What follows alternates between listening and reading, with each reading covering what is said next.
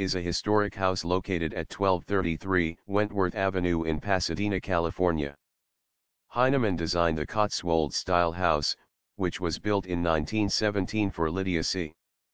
The large front entrance porch is topped by an arched roof supported by wooden beams and wide brick piers. The gable end of this entrance is decorated with half timbering, while the porch itself has a bargeboard pattern. The house's roof has a wide, low-lying horizontal component over the front of the first story and a smaller hip component above the second story section, both roofs have rolled eaves and wooden shingles, which replaced the original thatch covering in the 1920s.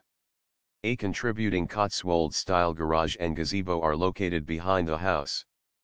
The house was added to the National Register of Historic Places on August 6, 1998.